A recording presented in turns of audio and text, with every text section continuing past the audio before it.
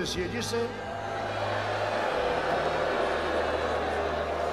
And the winner is a movie from South Korea. What the hell was that all about? How many fucking people in this country seen Parasite? I guarantee you it's probably 2% of the fucking population. We got enough problems with South Korea with trade. On top of it, they give him the best movie of the year. Was it good? I don't know. I don't know what Parasite is. I don't give a shit about Parasite. You know, I'm looking for like where, where. Let's get Gone with the Wind. Can we get like Gone with the Wind back, please? Why is the films in our country, the country which we all fucking watch in the Academy, okay? We watch those fucking films. Why is Parasite then nominated to that? Again. Sunset Boulevard.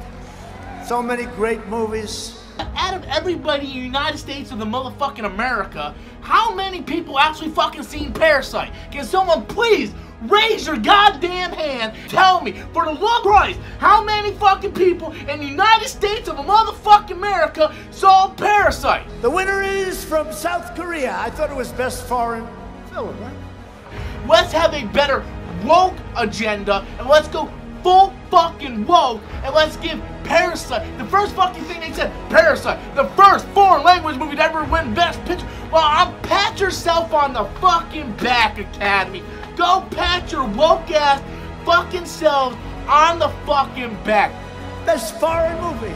No, was the did this ever happen before? best foreign film. You know why? Because it's a goddamn foreign film. Joker was Thomas Wayne, who first referred to many of Gotham's residents as clowns. Today, he offered little in the way of an apology. Well, what I will say is there's something wrong with those people. I am here to help them. I'm going to lift them out of poverty, help make their lives better. That is why I'm running. They may not realize it, but I'm their only hope.